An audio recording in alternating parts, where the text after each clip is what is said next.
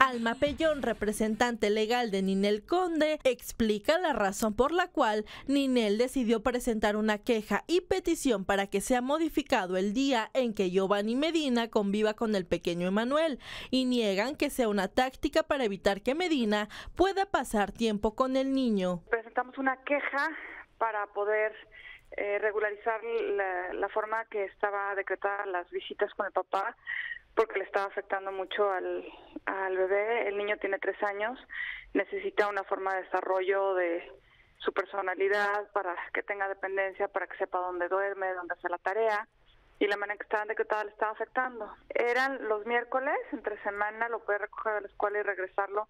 Sin embargo, bueno, un, un niño de esa edad necesita tener dónde tenga que hacer la tarea y tiene que tener rutinas de dónde la hace, cómo la hace, dormir en su cama, tener sus espacios y a la hora que a un niño de tres años lo están eh, durmiendo un fin de semana en un lado, otro fin de semana en quién sabe dónde, sin que sepa dónde duerme, cómo duerme, pues lo está desequilibrando muchísimo el niño, está teniendo muchos problemas. Eh, obviamente, si al niño lo consienten mucho entre semana, en un miércoles, pues al día siguiente está enfermo el estómago por toda la, la, comida que ha, que, que ha ingerido, que no es la que debe de comer, está muy cansado, no quiere ir a la escuela, se espera con sus compañeritos, obviamente está apenas acostumbrándose a ir a la escuela, entonces, bueno, lo saca de sus rutinas. Todo es en beneficio del niño.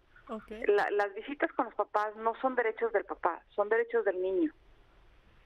Entonces, obviamente se tienen que, acomodar a lo mejor que sea para el niño, para el menor no lo mejor que sea para el papá o para la mamá. Entonces, por el momento, Emanuel solamente va a pasar pues estas fiestas con Inel. Sí, va a estar resguardado en su casa con su mamá. Muy cuidado. ¿Quieren estar al tanto de todas las exclusivas del medio del espectáculo? ¿Busca tener la información de los famosos de primera mano? Pues suscríbase a nuestro canal de YouTube. Solo tienes que darle clic aquí.